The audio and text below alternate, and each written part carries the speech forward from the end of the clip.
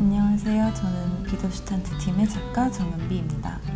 안녕하세요. 비더슈탄트의 작곡가 최대명입니다. 독일 나치 시대를 배경으로 다섯 명의 17살 펜싱 선수들이 이제 히틀러 엘리트 학교에 들어가면서 어, 벌어지는 일들을 담고 있고요. 거기 안에서 레지스탕스로 성장하는 내용을 담고 있습니다. 저희의 작품을 객관적으로 평가를 받을 수가 있고 또 단계별로 이제 천천히 발전시킬 수 있는 방법을 찾던 중에 글로컬 공모가 떠서 어, 지원하게 되었습니다. 완성도 있는 작품으로 만들기 위해서 노력하고 있고 또 저희뿐만이 아니라 관객분들도 함께 공감하고 또 재밌게 보실 수 있는 작품이 되도록 노력하고 있습니다. 매력적인 소재니만큼 그 매력을 이제 음악으로 약간 다운을 시켜서 극을 더 돋보이게 할 방법을 찾고 있고요. 또 캐릭터를 다양하게 보일 수 있도록 여러 가지 방면으로 생각하는 중입니다. 극과 음악이 하나가 되는 좋은 뮤지컬을 만들도록 하겠습니다. 끝까지 최선을 다해서 열심히 쓰도록 하겠습니다.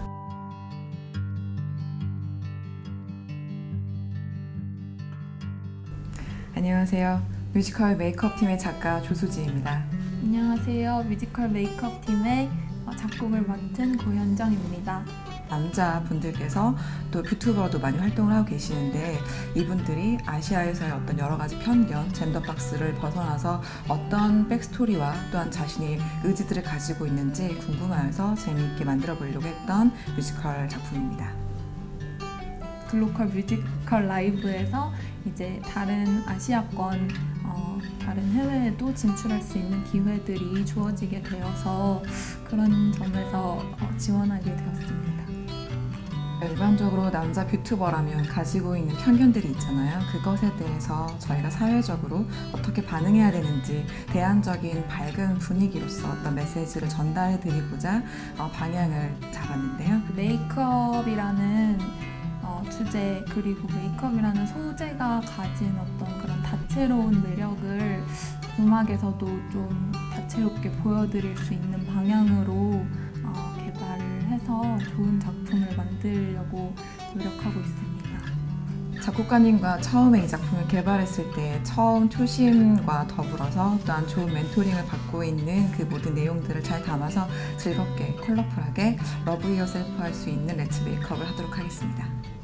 개발 과정에서 멘토님들께 이제 멘토링 받으면서 이 작품을 어떻게 진부하지 않게 더 새롭게 그리고 재밌게 관객들에게 이제 전달할 수 있을까 하는 고민을 굉장히 많이 했었는데 이전에 존재했었던 작품들이랑은 확실히 좀 결이 다른 어, 작품을 보여드릴 수 있게 어, 만들겠습니다.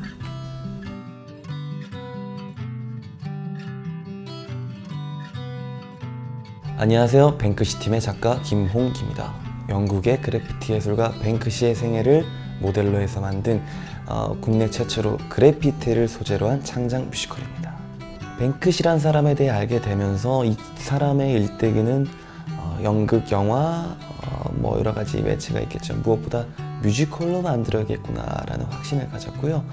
또 이 글로컬 뮤지컬 라이브가 또 우리나라 국내 여러 뮤지컬 공모전 중에서 가장 괄목할 만한 성과를 내고 있기 때문에 아, 그런 점에서 글로컬 라이브를 제가 선택했던 것 같습니다.